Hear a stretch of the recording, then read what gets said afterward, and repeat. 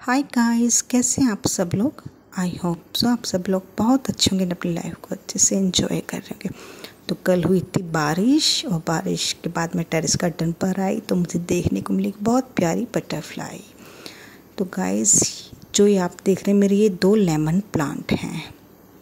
और मैं आज ये ट्रिक अपने लेमन प्लांट पर आजमाने वाली हूँ।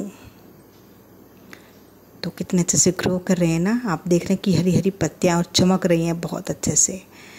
तो ये ट्रिक है कि आपके जो फ्रूट्स के छिलके होते हैं वेजिटेबल्स के छिलके होते हैं, जो भी होते हैं, जैसे केला हुआ, सेब हुआ, तरबूज, खीरे, टमाटर, प्याज, आलू, कुछ भी तो इन सबको आप ज़्यादातर क्या करते होंगे, कूड़े में फेंक देते होंगे तो आपको ये कूड़े में नहीं फेंकना है।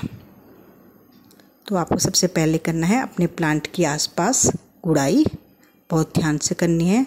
रूट्स को बिना डैमेज किए। क्योंकि अगर रूट्स हमारी डैमेज हो जाएँगी तो हमारा प्लांट मर जाएगा। बहुत आराम से करना है। आराम से करने के बाद आप सारी मिट्टी को एक साइड में कर दीजिए।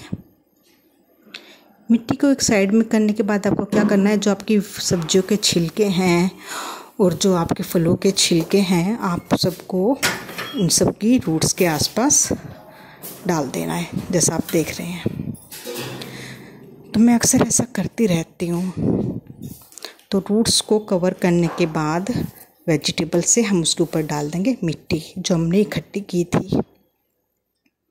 मिट्टी इकट्ठी करने के बाद हम उसको हाथों से हल्का सा थपथपा देंगे, ताकि हमारे फलों के और सब्जियों के छिलके बाहर ना दिखें।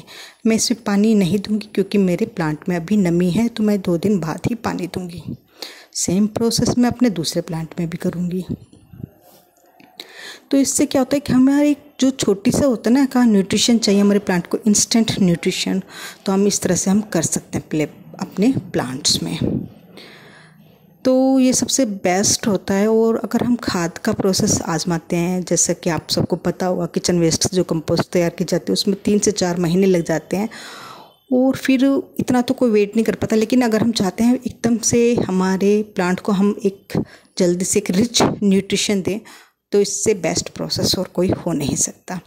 तो ये सब करने के बाद हम इसको भी अपने मिट्टी से कवर कर देंगे।